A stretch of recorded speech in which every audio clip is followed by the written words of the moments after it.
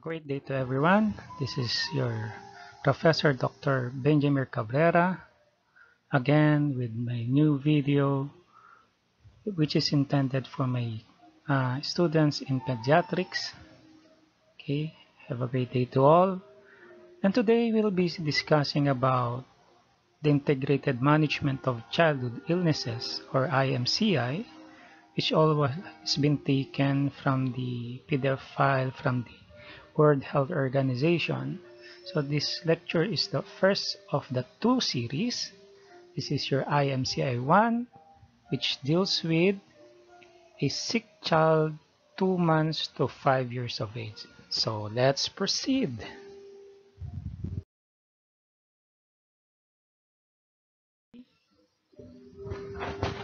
Here are the objectives for this uh, lecture.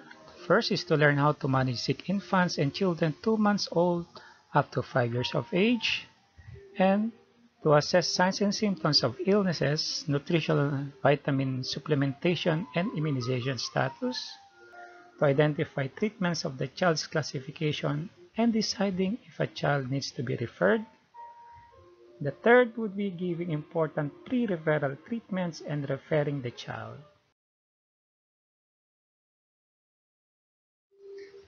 The fourth objective is to provide treatments in the health center such as oral rehydration therapy, vitamin A and supplement and immunization. The fifth would be to teach the mother to give specific treatment at home such as oral antibiotics or anti-malaria drugs and to, to learn how to counsel the mother about feeding care for development and when to follow up or return. And the last would be uh, you will learn here how to reassess the problem and provide appropriate care when the child comes for the scheduled follow-up. Okay, let's uh, start with the principles of your IMCI or principles of the Integrated Clinical Case Management. IMCI uh, clinical guidelines are based on the following principles. Okay, examining all sick children up to 5 years of age for the general danger signs. So this is very important. We always look for the danger signs and all young infants for signs of very severe disease.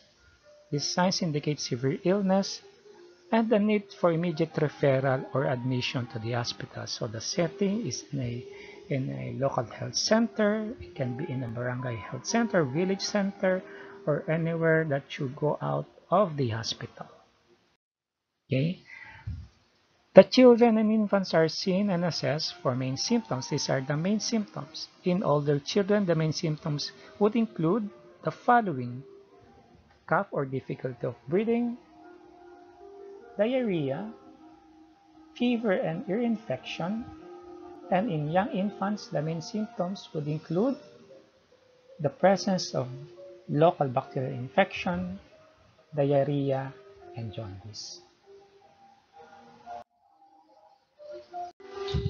And the fourth principle is that only a limited number of clinical signs are used, selected on the basis of their sensitivity and specificity to detect disease through classification. A combination of individual signs leads to a child's classification. Remember that within one or more symptom groups, rather than a diagnosis, the classification of illness is based on a color-coded triad system. So, these are the colors. Remember, pink, yellow, and green. Pink, though it's a feminine color and it's a beautiful color, but this is a color that needs an urgent hospital referral or admission. Yellow means it will indicate initiation of a specific outpatient treatment. So yellow is still outpatient. And green means we just give supportive home care. The IMCI management procedures use a limited number of essential drugs and encourage active participation of caregivers in the treatment of their children. So this entails first you will only be using limited number of drugs, then another important part of this is the active participation of caregivers in the treatment of their children. And here is the last uh, principle for your integrated clinical case management. This an essential component of IMCI is to counsel the caregivers regarding home care. If ever you'll be sending the patient home as an outpatient case, you must counsel the parents or the caregivers regarding appropriate feeding and fluids. If the case has an urgent level or pink, you must counsel the patient, the caregivers when to return to the clinic immediately or when to uh, bring the patient to the hospital. And when you have a home treatment or a green case, when to return for follow-up.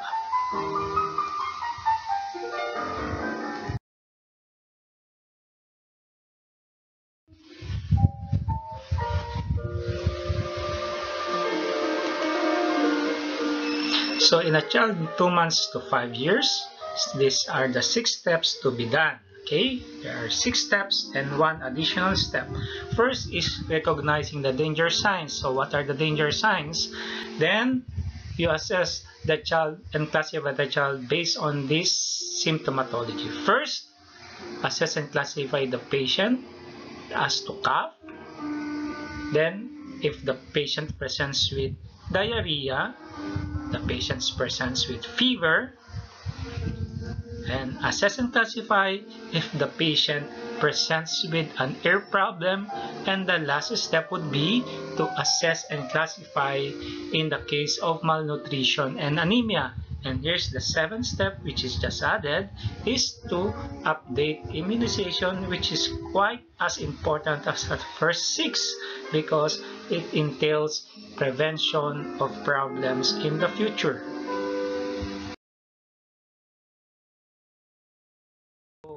Part 1 we recognize the danger signs so this is a pink uh, color. So it means there's urgency.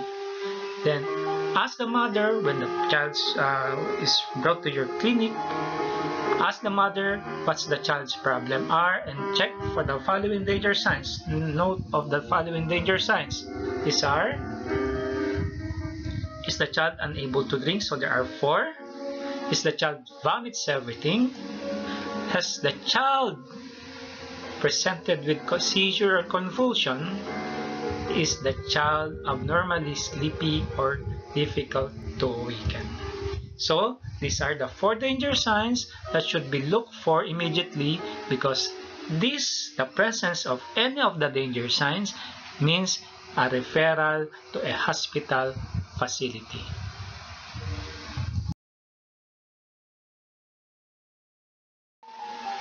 Now we assess the, the child as to cough or difficulty of breathing. So when the child presents with cough or difficulty of breathing, you assess and ask the following. Assess it as how long or the duration of the cough or difficulty of breathing has been. Then, would you label the breathing once you count it as fast breathing or tachypnea? First, for these are the ranges. So for for two months to one year of age, you label that case as a fast breathing or tachypnea if the breath is more than 50 breaths per minute. For 1 to 5 years of age, it will be more than 40 breaths per minute. And check for chest indrawing. So you, you should always examine the child uh, remove the upper garment of the child or upper shirt and look first observe how how is the child breathing? The, is it the child comfortable or is the child showing signs of distress like your chest indrawing it means that the lower chest goes in when the child breathes out. And last would be presence of stridor in a calm child. Stridor is a harsh noise, a harsh noise when the child breathes in.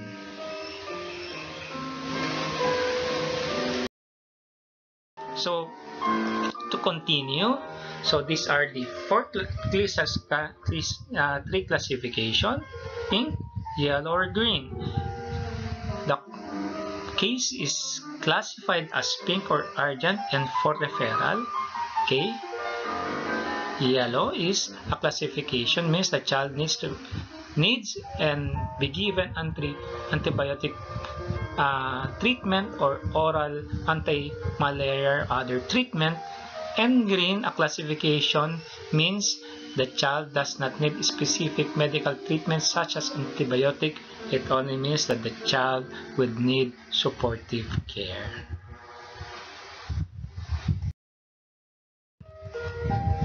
so here are the three possible classifications for a child with cough or difficulty of breathing Pink one would be severe pneumonia or a very severe disease. The yellow one would be pneumonia and the green one would be no pneumonia or just the presence of simple cough or colds.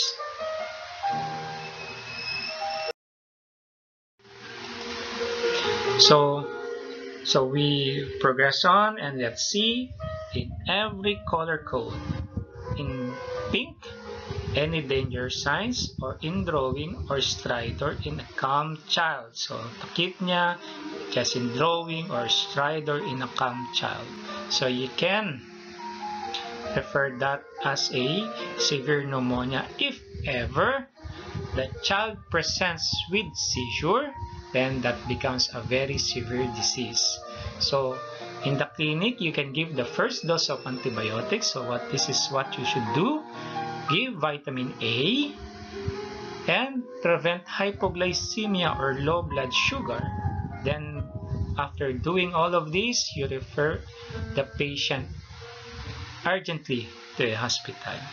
If ever you just diagnose the case as pneumonia, meaning it just does tachypnea or fast breathing, what you should do is to give appropriate antibiotics to be given for 5 days may, you may give soothing uh, medications for the throat and may relieve the cough with a safe cough remedy and advise the mother to follow up in two days. And of course you advise them regarding the danger signs. So when uh, danger signs if ever the patient will later on present with severe pneumonia or very severe disease. However, if you don't see fast breathing and it's just a case, case of a simple cough and cold, you label that as a no pneumonia, means no sign of pneumonia or very severe disease. It just means that if the child has been coughing for more than 30 days, Okay, so what would that be? Look, maybe it's an allergic type of condition. Maybe it's an asthma. Soothe the throat and relieve the cough with a safe remedy and advise the mother to return and follow up in five days if not improving. So you might give her uh, some uh, expectorant or mucolytics or even a bronchodilator. Note, in each classification table, a child receives only one classification. If ever, okay, here is a point of uh, decision. If the child has signs for more than one row, meaning it can be a severe or not severe or just no pneumonia, if ever the child will have symptoms that encompasses two or more rows, always select the more serious classification. Always select the most serious classification. Then, after the cough, we assess the child and classify as to diarrhea. Okay, when the child comes in, you ask what's the problem, mommy, and then and the child, mommy says, yes, the child has been having loose stools, okay, for quite a while. So now you assess and ask how long has the child been suffering from diarrhea, and uh, And the second question would be, is there blood in the stool to determine if the child has dysentery? Okay, or a, a note for signs of dehydration. You will know the signs of dehydration, okay, here, okay. If the child has diarrhea for 14 days or more, you classify the child as having persistent diarrhea. So this is more than 14 days or more. Okay. If the child has blood in the stool, you classify the child as a case of dysentery. Okay, here is the danger signs. Okay, you classify the child as having a danger sign if the child presents with two of the following signs, meaning two, okay, of the following, okay, abnormally sleepy or difficult to awaken, sunken eyes, not able to drink or drinks poorly, and skin pinch goes back very slowly. So these are there are four danger signs and you need two out of these four so that you can classify the child as having a, a pink classification the diagnosis would be severe dehydration okay again abnormally sleepy so consciousness difficult to awake look at the eyes sunken eyes or sunken eyeballs. As usually the parents will ask you what do you think doctor? And you should ask tell them uh, how do you classify your child's eye? Because maybe this is my first time to see your child and I just don't know if your child is is deep uh, deep eyed okay so the, the parents should answer that. Or if the parents would complain that he is not able is sleeping a lot and drinking uh, poorly or is not able to drink okay.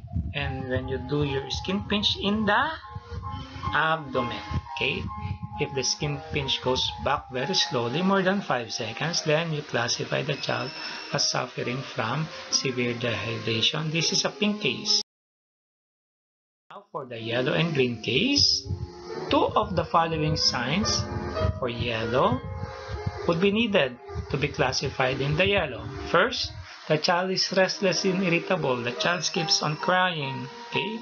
And look at the presence of tears. Okay? Restless and doesn't like to drink or next, drinks eagerly or very thirsty. The child grabs the, the, the fluid ORS or water or juice, okay, and has sunken eyes, and again skin pinch goes back slowly okay two of the following four signs should be okay fulfilled and you label it as some dehydration. Well for the most benign part is no dehydration. It means not enough sign to classify as some or severe dehydration.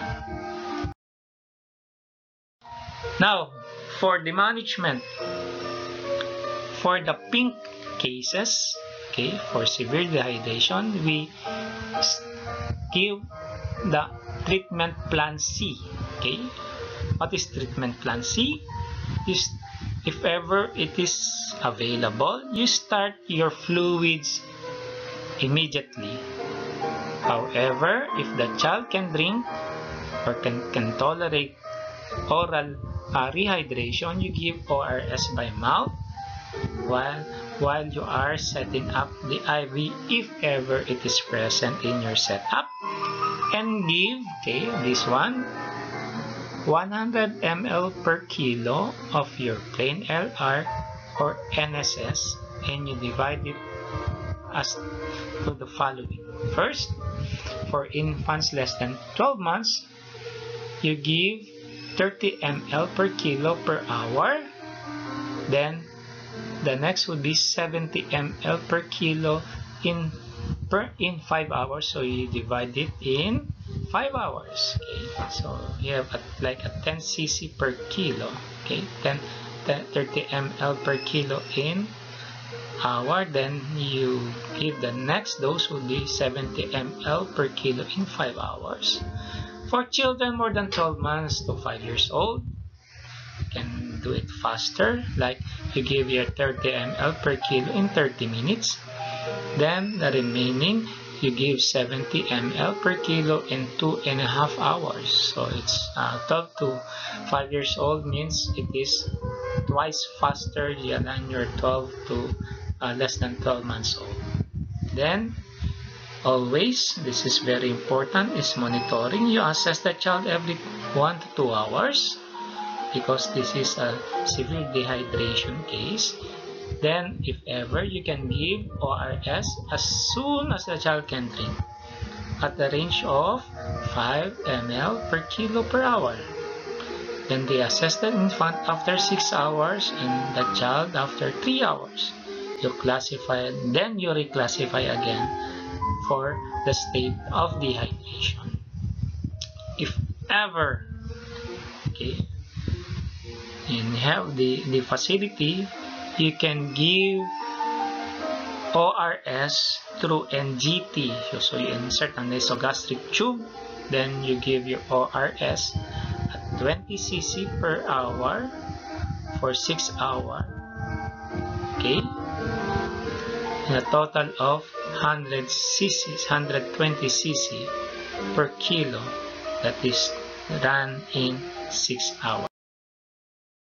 So let's proceed for the treatment or treatment plan B for some dehydration. So this is a beautiful beautiful representation and this uh, the age group is divided. So as with the weight and how what is the volume to be given.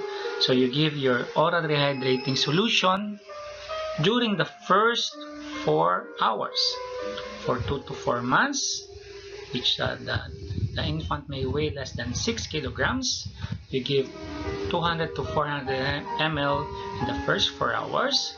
For 4 to 12 months old which weighs 6 to 10 kilograms you can give 400 to 700 ml in the first 4 hours. For a year and 2 years old who usually weighs 10 to 12 kilograms you can give 700 to 900 ml of your ORS during the first 4 hours. And last would be your 2 to 5 years old who usually weighs 12 to 19 kilograms you may give them 900 to 1500 ml of ORS during the first 4 hours. However, if the child wants more ORS tension, then give more. Okay, so there is no overdose. Okay, just the, the minimum amount. Okay, for children less than 6 months who are not breastfed, also give additional 100 to 200 ml of clean water during this period. Okay, you may give small sips from a cup. Okay. However, these usually are the cases. It is quite common when you give an ORS, the child will vomit. So, what you do, so just uh, clean the vomit, then wait for 10 minutes, then resume uh, the oral rehydration, but this time slowly, okay?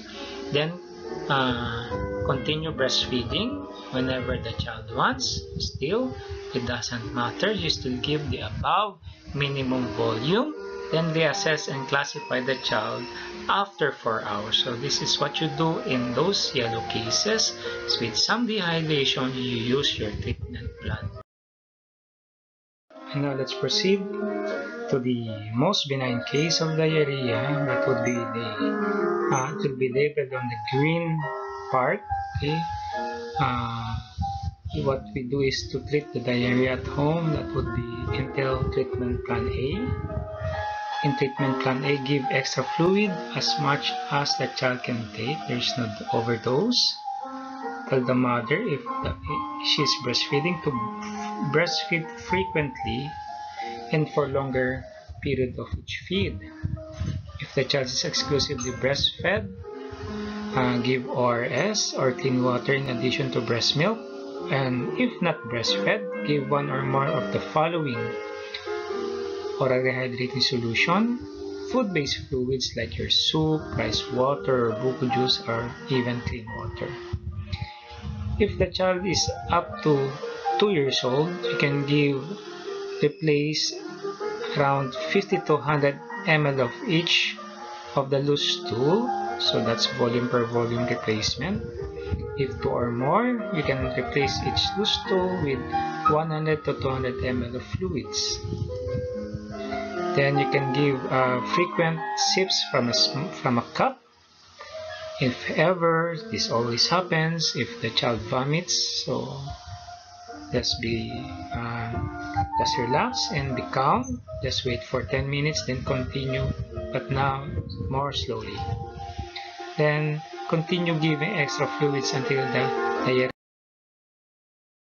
so for cases of cholera the first line of antibiotics is tetracycline given four times a day for 3 days or the second line would be cotrimoxazole or your trimethoprim sulfamethoxazole given twice a day for 3 days.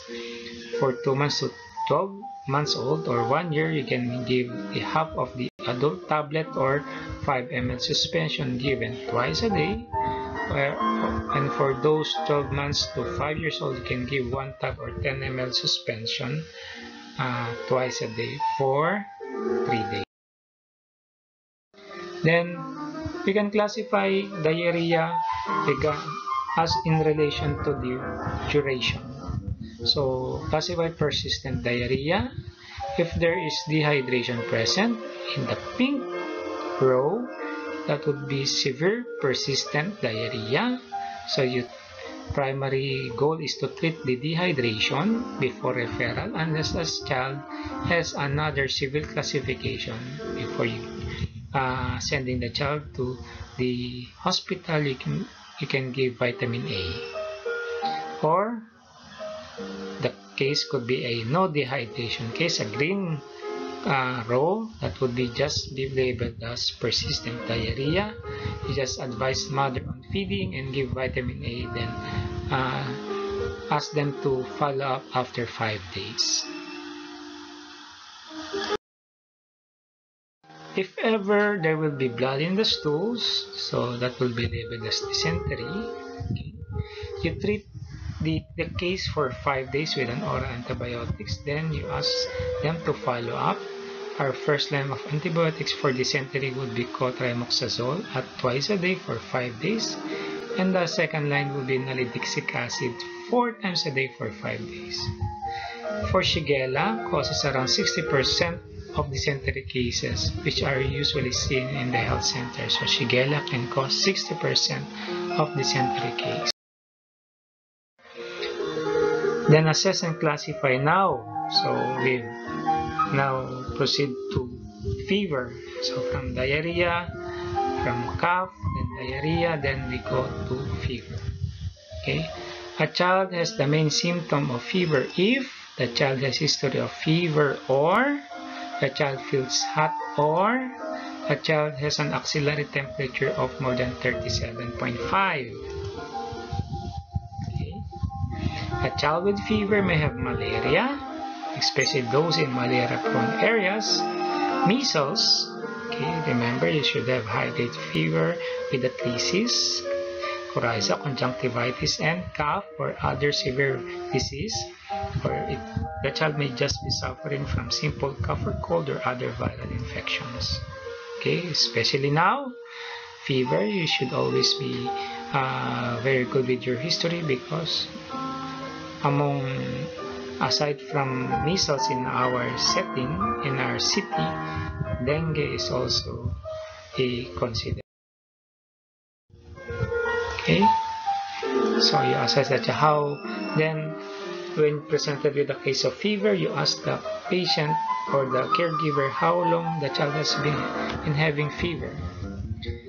Ask for the history of measles because you know measles is, is, is only um, a child can only suffer measles once in a lifetime. Then find out if the child is suffering from stiff neck or having runny nose Okay, so these are the signs suggesting measles, which are general rash and one of these three cough, coryza or runny nose, and conjunctivitis or red eyes with fever. Okay, if the child has measles now or within the last three months, assess for signs of measles complication. Okay, like mouth ulcers, pus from the eyes, and clouding of cornea. Okay?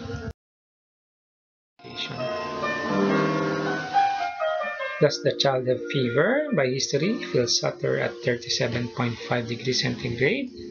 Okay, so you classify them, decide if there's the risk for malaria is if you are in a malaria risk area and ask does a child live in malaria area? Has the child visited or traveled or stayed overnight in a malaria area in the past four weeks? If yes obtain a blood smear then ask how long has the child has fever? If more than seven days that the child has been having fever? Has the fever been present every day? Has the child had measles within the last three months? So these are your questions. Then look and feel. Look for and feel for stiff neck. Look for the runny nose. Look for signs of measles like your fever and thesis, generalized rash, maculopapular, and none of these cough, runny nose, or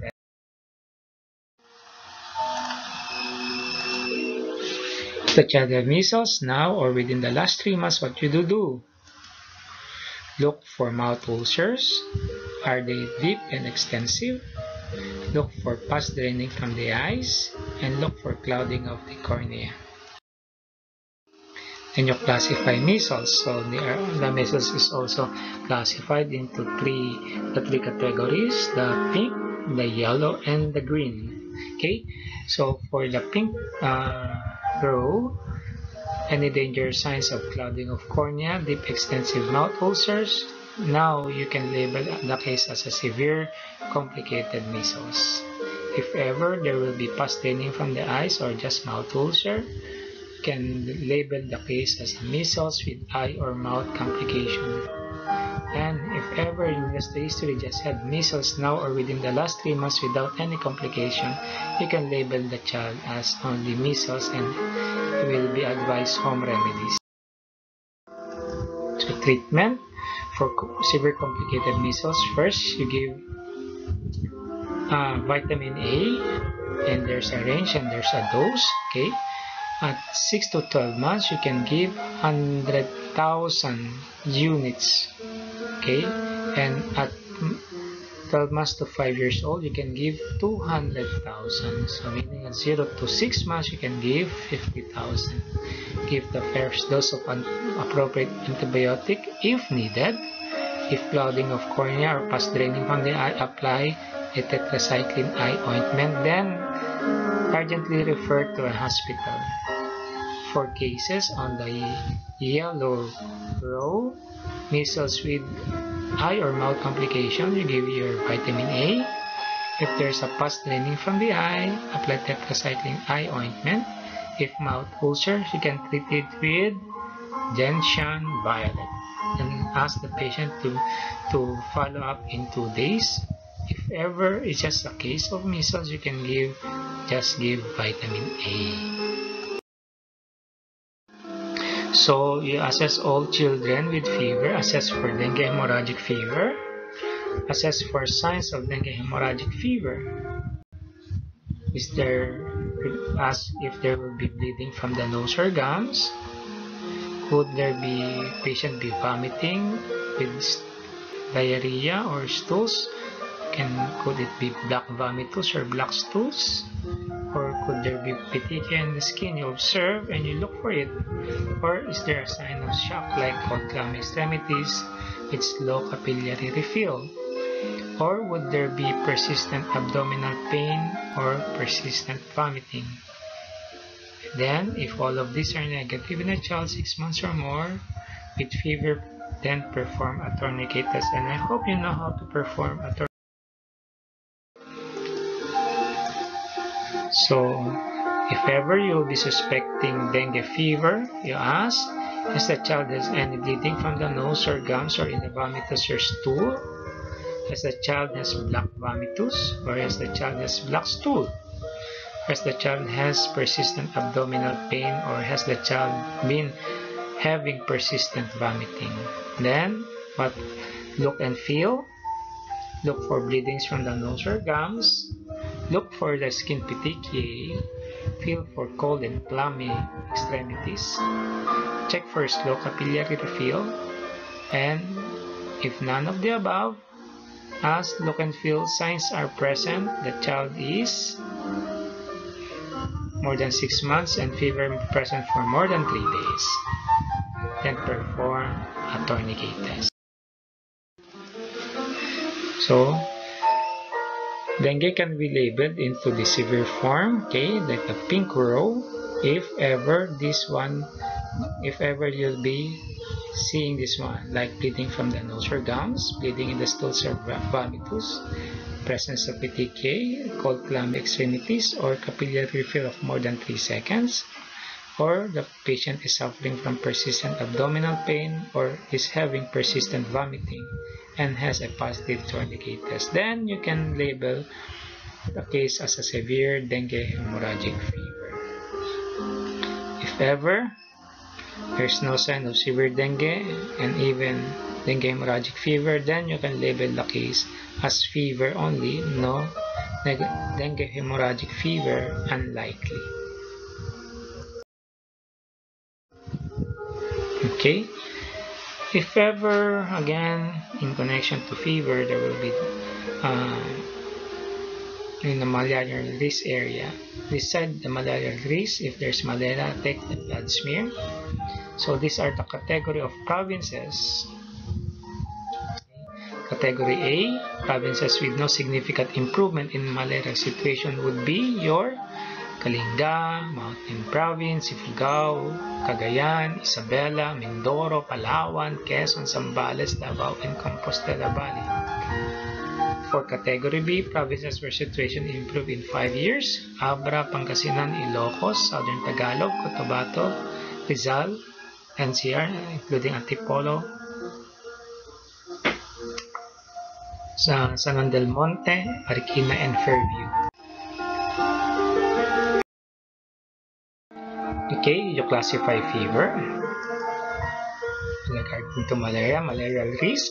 Yes, any danger signs of these are the danger signs: stiff neck. If ever there will be blood smear positive, or if the blood, plasma blood smears will not be done, look for runny nose and no measles and no other cause of fever. Okay, so just label it as mal just malaria. But if there will be general danger signs, you can uh, label this as very severe febrile disease or malaria. If uh, blood smear will be negative, then just label it as fever with malaria unlikely.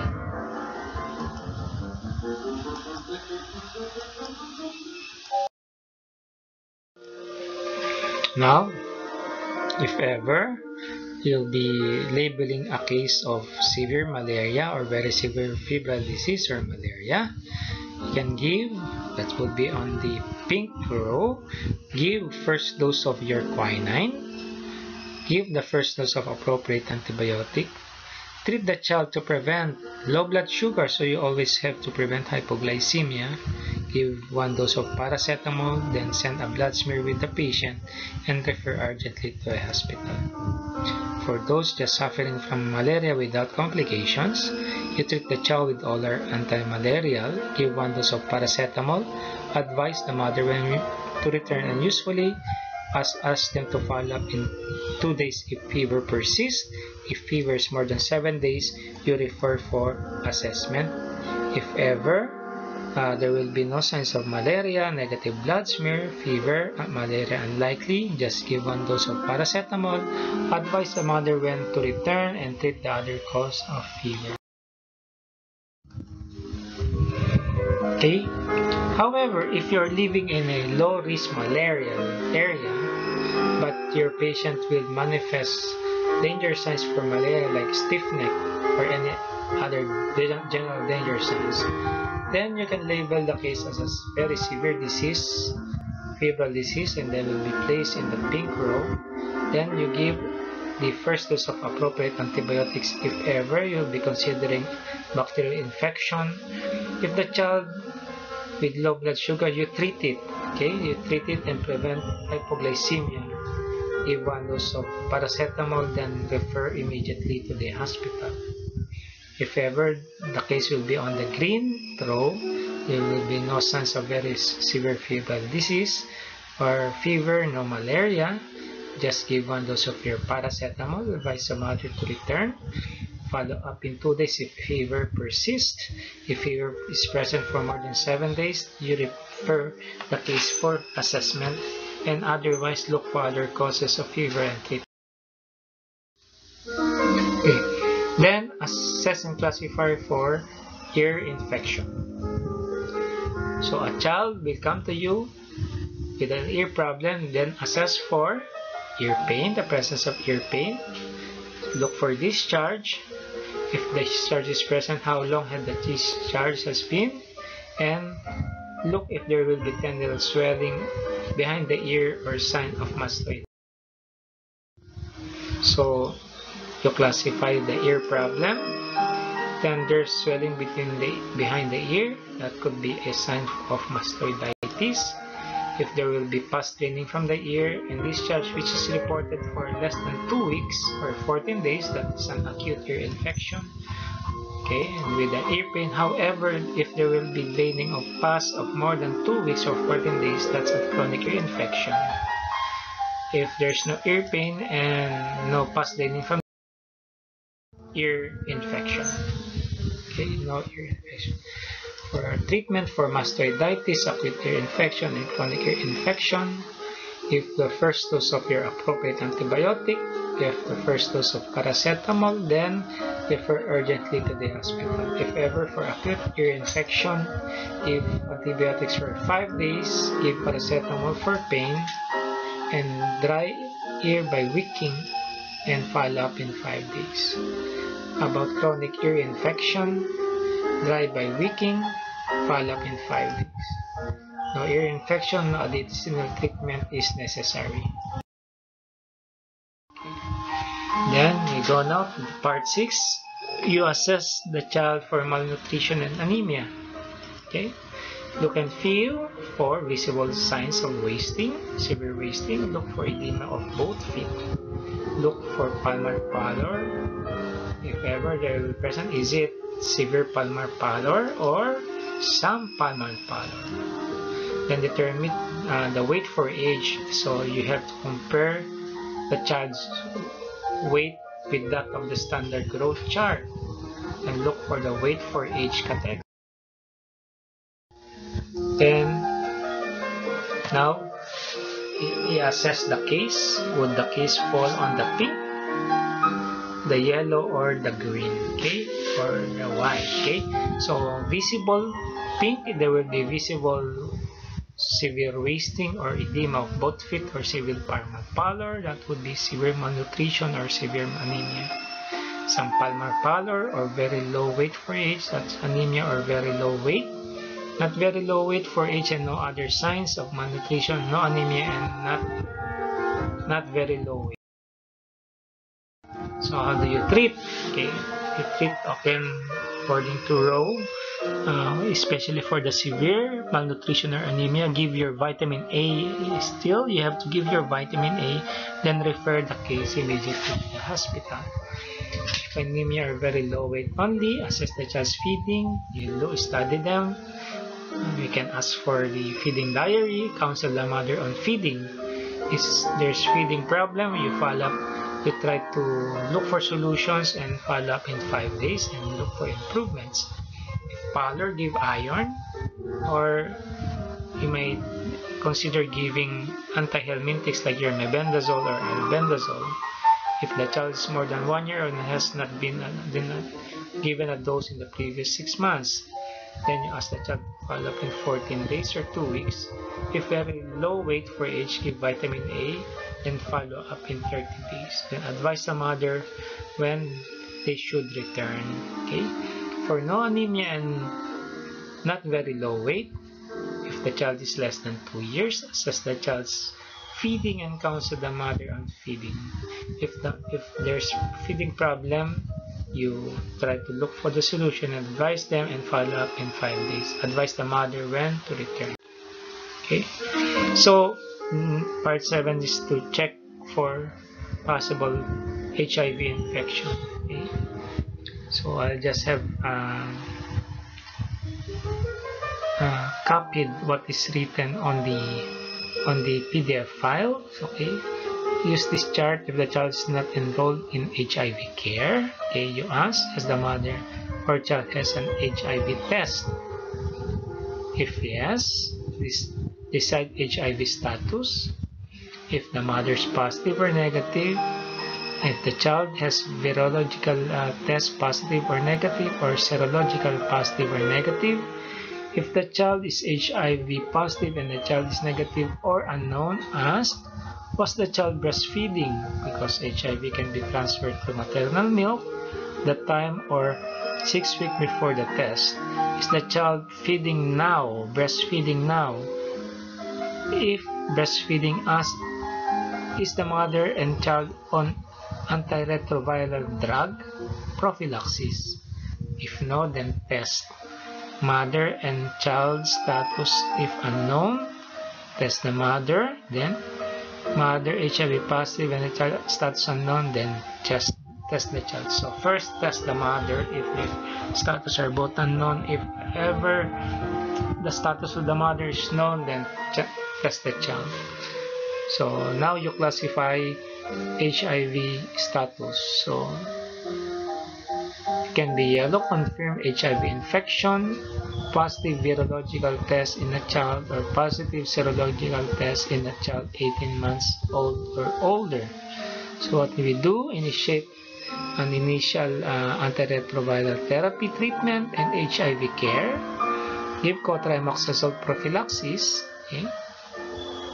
Assess the child's feeding and provide appropriate counseling for the mother. Advise the mother on how on home care. Assess or refer for TB assessment and isoniazid preventive therapy or IPT and follow up regularly as per national guidelines. If it is yellow again, HIV exposed, mother HIV positive and negative uh, positive and negative virological te uh, test in a breastfeeding child or only stopped less than six weeks ago or the mother is HIV positive and the child is not yet labeled or positive serological test in a child less than 18 months old so that would now be labeled as yellow HIV exposed. So what do we do we give cotrimoxazole prophylaxis. You start or continue ARV prophylaxis as recommended. Do virological test to confirm HIV status. Assess the child's feeding and provide appropriate counseling to the mother and advise the mother on home care. Follow up regularly as per national guidelines. If ever negative HIV test in mother or child, then if the patient goes to green, HIV infection unlikely, then treat cancer and follow up existing infections. Let's proceed to part 8. Check the child's immunization status. Well, for this part, any child not ill enough to be admitted to a hospital can be given the appropriate immunization. Okay, so this is the the, the schedule for immunization in any age group. Okay, so they will have the age and the uh, vaccines that will be recommended. At birth, you give your BCG and your uh, first dose of Hep B. That's for WHO and that's for our country but still with this recommendation at 6 weeks you can give your DPT 1 OPV, the first dose, and the first dose of your Hepa B. And after 10 weeks or 6 weeks, 4 weeks apart, you can give your second dose of your DPT, polio, and Hepa B. Then, at 14 weeks, you can give your DPT, OPV, and the third dose of your Hepa B. So in this uh, schedule, see, it's quite different from our uh, recommendation in our country because this is WHO recommendation. Okay. In our country, you can give BCG and the first dose of hepatitis B at birth. And at 6 weeks, you can give your first dose, second dose of your hepatitis B and the third the third dose can be given at 6 months of age okay? So at 24 weeks okay? So it's quite different but what is uh, common would be the first second and third dose of your DPT and your OPVs then at 9 months you can give your okay? So in here do not give BCG to a child known to have AIDS. So these are your notes. Infants born to mother with TB disease do not give BCG first. Why? Because you can have your accelerated BCG reaction. Instead, you give your IPT or isoniazid preventive therapy for 3 months. And if then give, do your skin test. If skin test is negative, then you can give your BCG just to prevent the BCG accelerated reaction. Okay.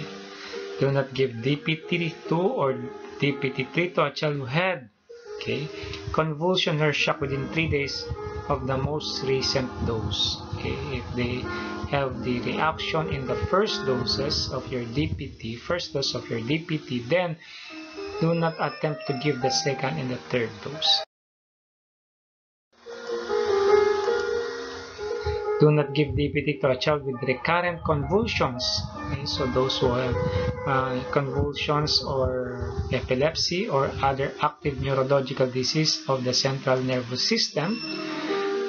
However, there is no contraindication to immunization of a sick child if the child is well enough to go home. So for minor ailments, you can vaccinate. The second dose of measles vaccine may be given at any opportunistic moment during a periodic supplementary immunization activities as early as one month following the first dose. This is a good note. So you can give the second dose. So usually you have to give two doses of your measles. Okay, you can give the measles, then the MR. Then, however, you can give the second dose of measles vaccine after as early as one month after the first dose.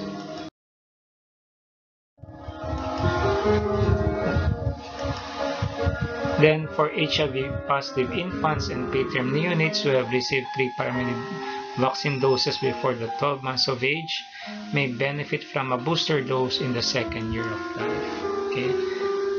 For rotavirus vaccine, it is given to children selected areas due to their limited supply and cost. Okay. The Rotovaccine now in the market has two brands.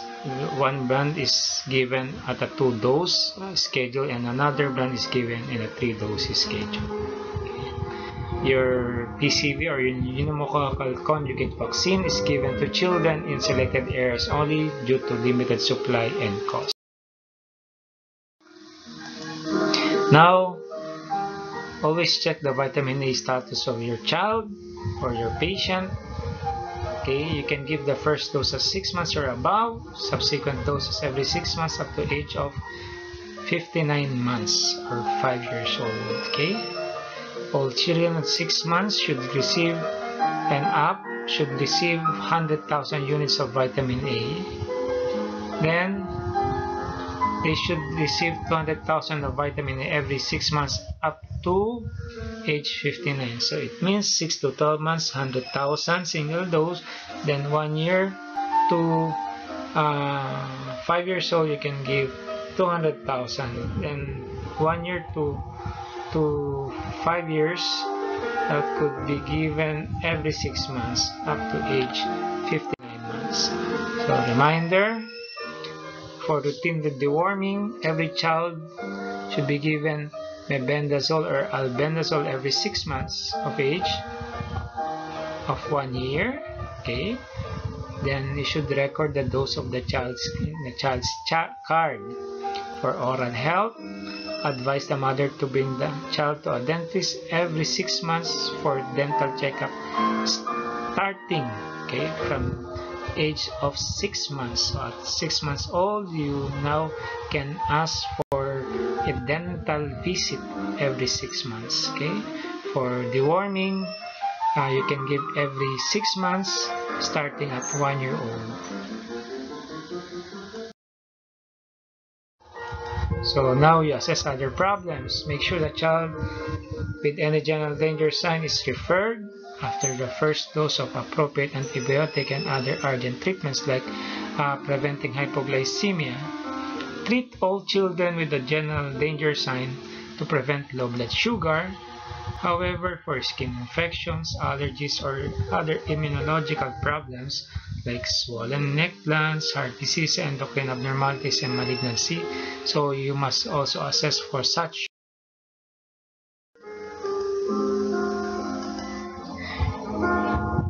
So you can observe other problems during assessment, identify and treat any other problem according to your training, experience, and health center policy, or refer the child for any other problem you cannot manage in your health center. Okay, for HIV testing and interpreting results.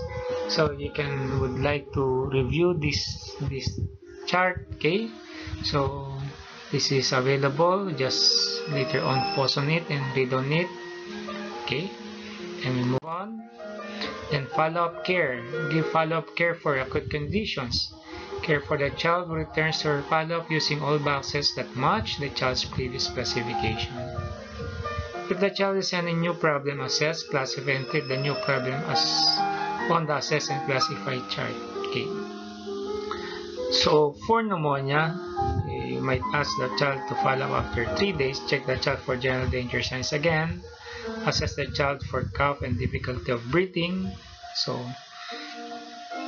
from the initial assessment, now you reassess is the child breathing slower? Is there still chest indrawing? Is there, is there less fever now? Or is the child eating better? Then assess and, reclassify to, the, your, to your chart. So you treat any danger signs or try to refer urgently again to the hospital if ever there will be development of such, such signs. Okay, if chest indrawing and or breathing rate, fever and eating are the same or worse, then refer urgently to the hospital. However, is if breathing is now becomes slow, slower, no chest indrawing or less fever and eating better, then you advise to complete 5 days of the antibiotic. For however, follow-up care for persistent diarrhea after 5 days of follow-up now, as has the diarrhea stopped or still how many stools in the child having per day? So you treat if the diarrhea has not stopped. Child is having three or more loose stools per day. Do a full reassessment of the child. Treat for dehydration if present. Then refer to the hospital for workup and management. If the diarrhea has stopped, okay, and the child less will be having less 3 stools per day, tell the mother to follow up the usual feeding recommendation for the child's age. If ever, follow up for a case of bloody stools or dysentery after 3 days. Assess the child for diarrhea. Then you assess and classify. Uh, go to the assess and classify chart. Ask now, is there any improvement, improvement like fewer stools? lesser blood in the stool? Is there less fever, less abdominal pain, or is the child eating better? So, so you treat now if ever you find some signs like if the child is dehydrated, then treat the dehydration, rehydrate the child. If the number of stools, the amount of stools, fever, abdominal pain, or eating are worse or the same, then change to the second line oral antibiotic recommended for dysentery. That would be cotrimoxazole. Give it for 5 days. Advise the mother to return in 3 days and if you don't have the second line antibiotic, refer to the hospital. Exception for the second line. If the child is less than 12 months old or was dehydrated, on the first visit or if the child had measles within the last three months then if all of these are present then refer the child to the hospital. However if the, there will be fewer stools less blood in the stools less fever less abdominal pain and is, is uh, improved appetite then continue giving your ciprofloxacin until it is finished. Okay ensure that the mother understands the oral rehydration method fully and that she also understands the need for an extra meal each day for a week. Okay, so that, that your patient nutrition wise can now catch up. For malaria, follow-up care for malaria. If fever persists after 3 days, do a full reassessment of the child. Then you again assess and classify. Go to the assess and classify chart. Do not repeat the rapid diagnostic test. It was if it was positive on the initial visit. And then you treat the, the child has any danger signs like your or stiff neck, as a very severe febrile disease. Okay. If the child has any other cause of fever other than malaria, then provide the appropriate treatment. If there's no other apparent cause of fever, if the fever has been present for seven days, then refer for assessment. Do microscopy to look for malaria parasites. If parasites are present, the child has finished a full course of the first line anti-malarial. Then give the second line anti-malaria if available or refer the patient to the hospital. If there's a, no other apparent cause or fever or fever and you do not have any microscopy to check your parasite, then it would be better and prudent to refer the child to the hospital. So for fever, no malaria. If fever persists for more than 3 days or after 3 days, a full reassessment. Then refer again to the assess and classify chart. Then repeat the malaria test. If ever in the initial test there is no malaria. So treat if the child has any danger signs like your stiff neck, then treat it as a very severe febrile disease. If the child has positive malarial test now, then give the first oral first time oral malarial anti-malarial then advise the mother to return in three days if the fever persists if the child has any other cause of fever other than malaria then provide treatment if there's no other apparent cause of fever okay the fever has been present for seven days then refer for assessment how about if the child has measles with eye or mouth complications, gum or mouth ulcer or thrush? Then you ask them to follow up. Then after three days, look for the presence of conjunctivitis or red eyes and pus draining from the eyes.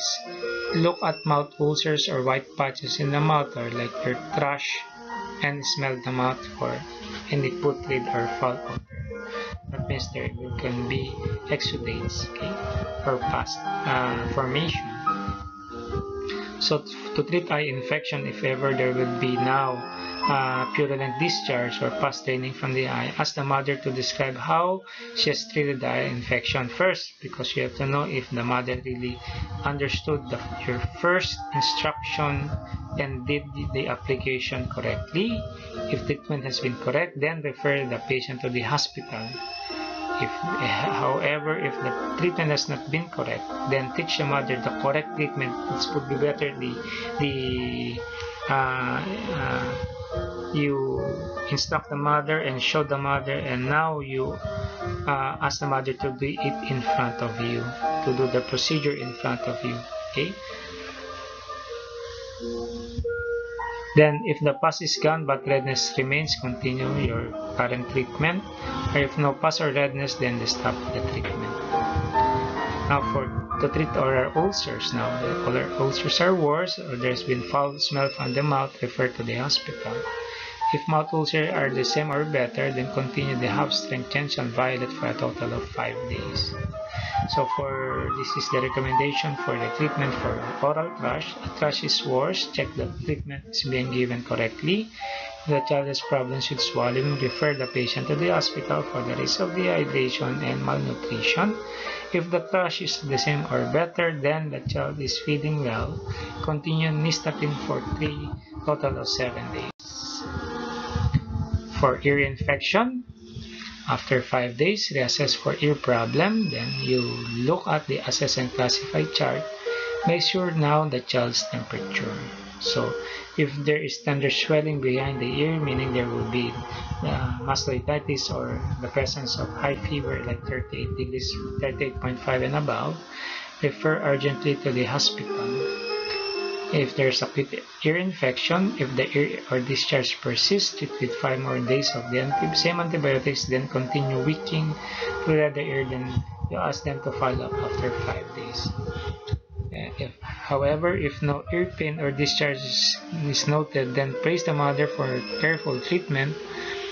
If she has not yet finished the 5 days of antibiotic, tell her to use all of it before stopping for cases of chronic ear infection. Check that the mother is wicking the ear correctly and giving quinolone drops three times a day. Encourage her to continue. Now for feeding problem. After 5 days, reassess feeding. Okay, you see the questions to counsel the mother chart. Ask about feeding problems found on the initial visit. Then you counsel the mother about any new or continue, continuing feeding problems. If you counsel the mother to make significant changes in feeding, ask her to bring the child back again and reassess. Okay? Always reassess.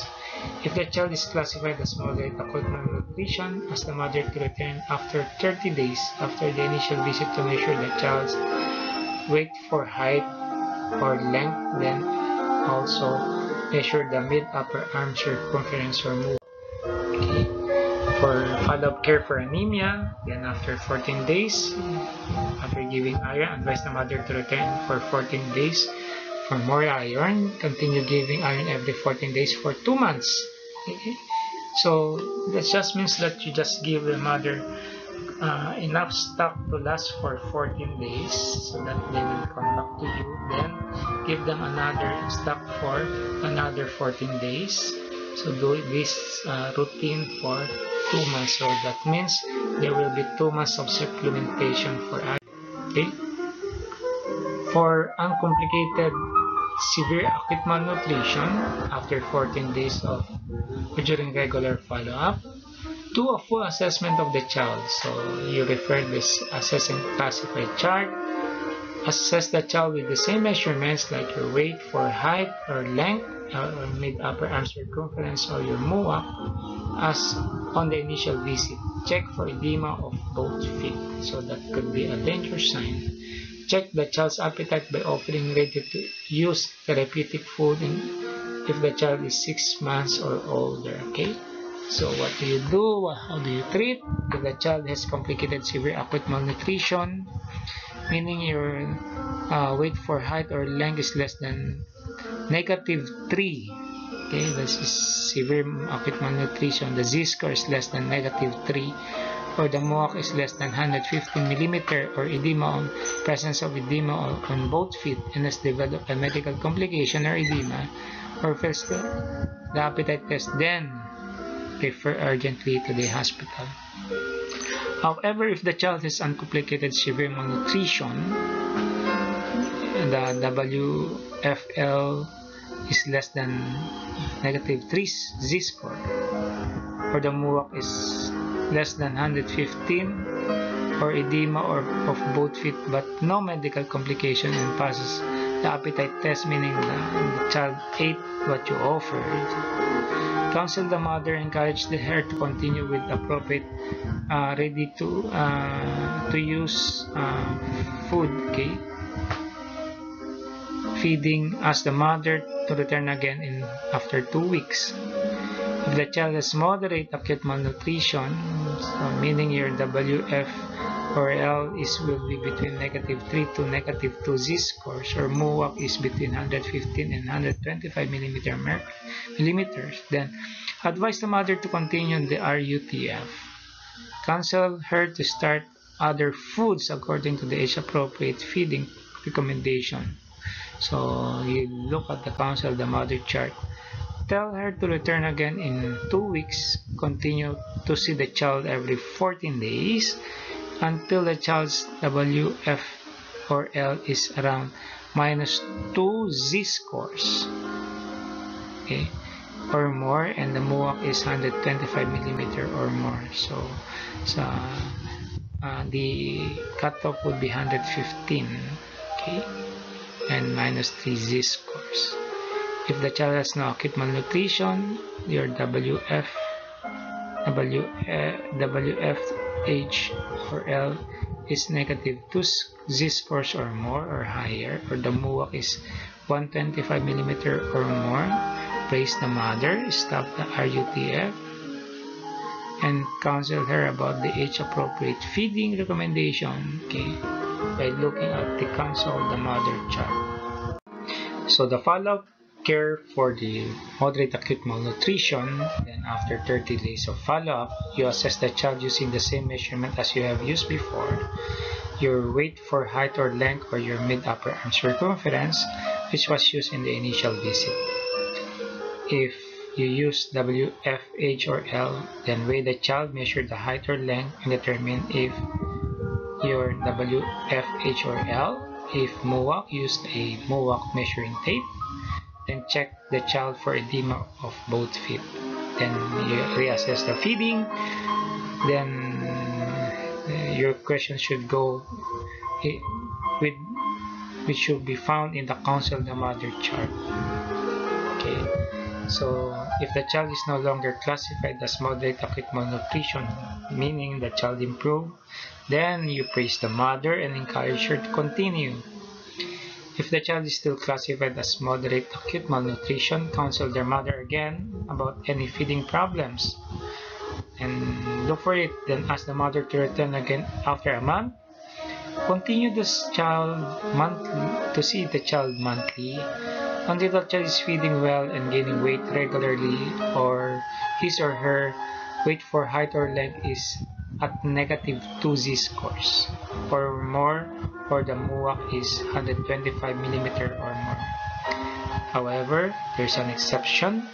If you do not think that feeding will improve or if the child has lost weight or or his or her MUAC has diminished, then by no means refer the child. How about uh, how to give follow-up care for HIV exposed and infected child?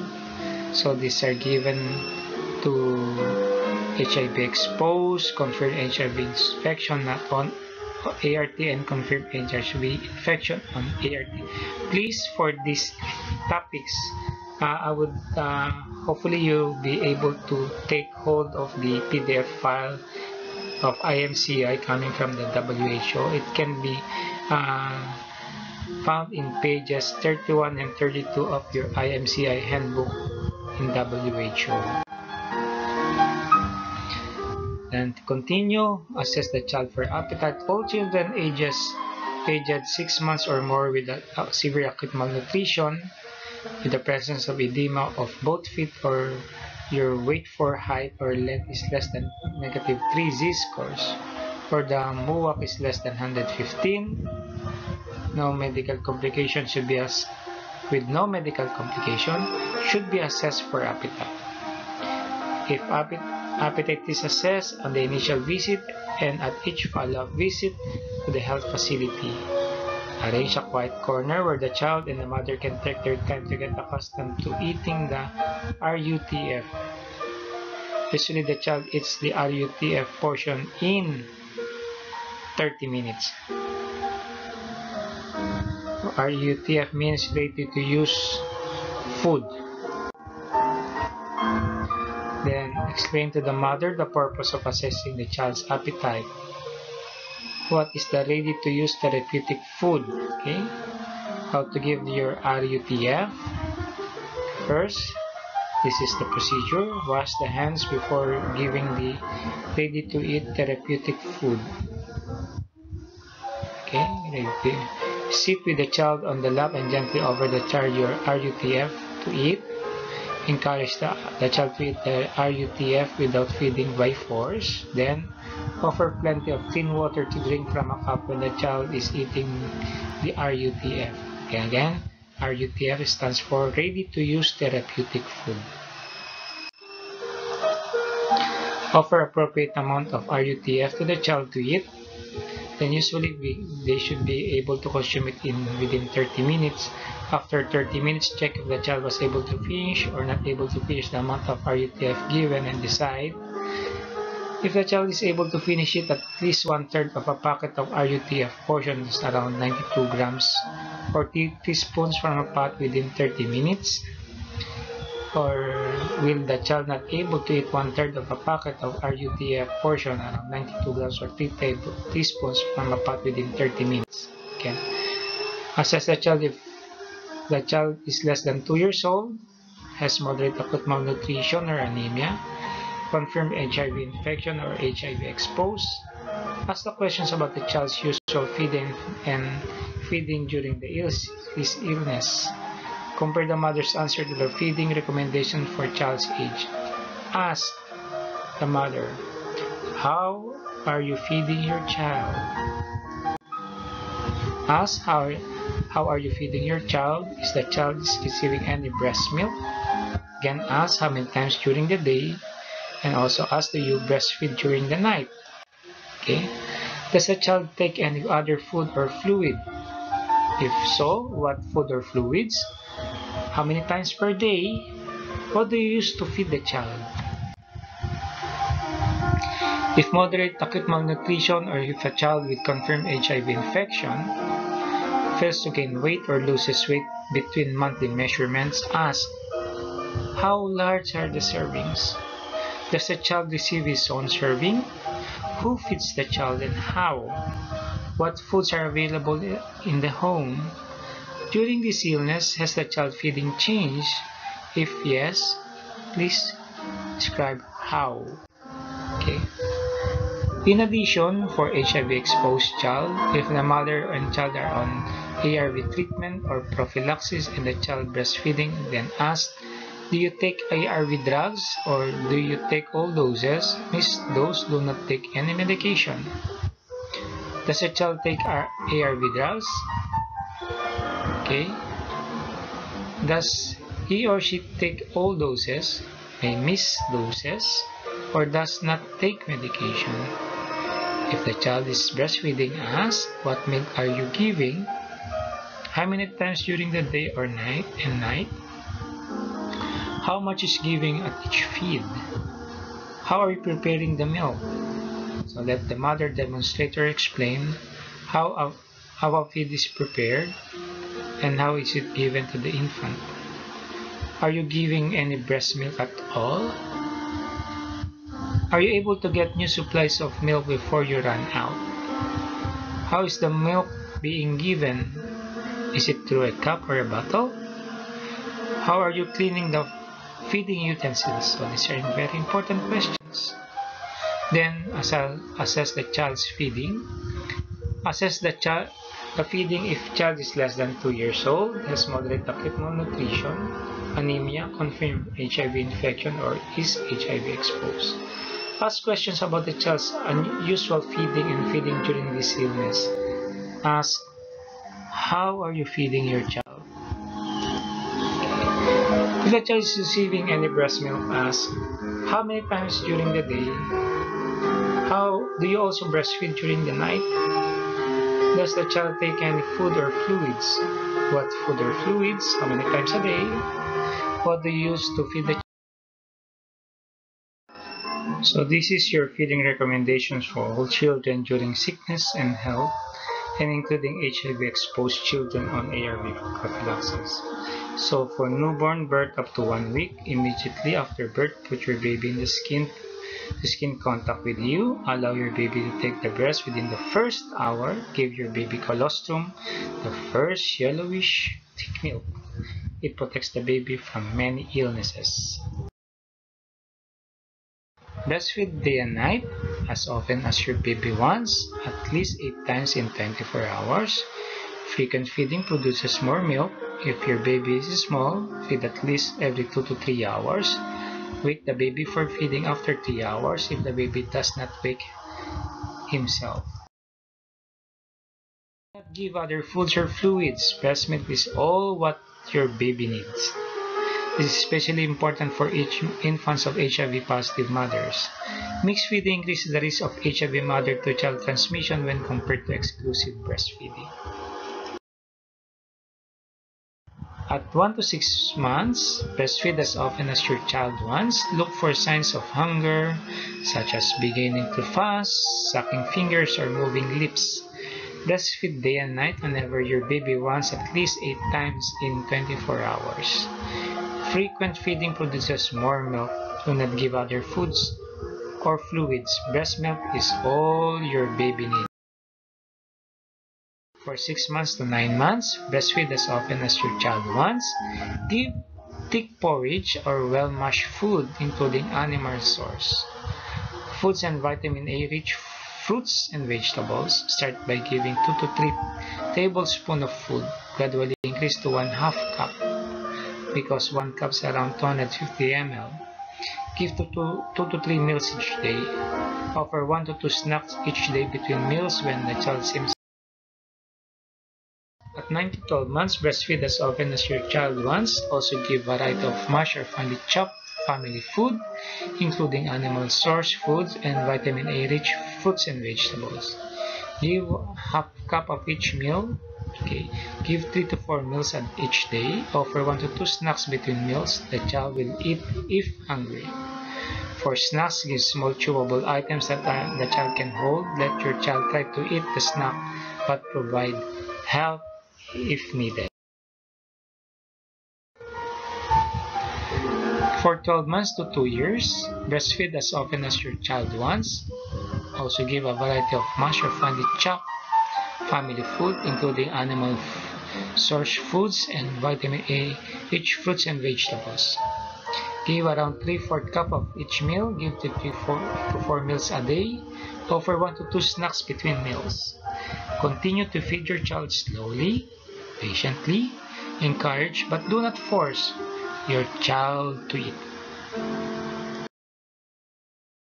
For 2 years and older, give a variety of family foods to your child, including animal sources and vitamin A rich fruits and vegetables.